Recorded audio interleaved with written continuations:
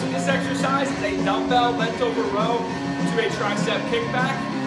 What we're gonna do is go ahead and get our feet about hip width apart. We're gonna bend our knees slightly and stick our butt back.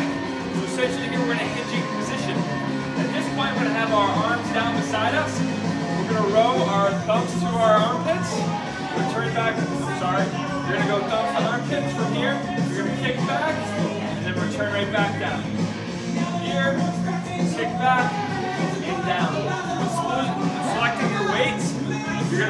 Weight that you're able to do for the tricep kickback.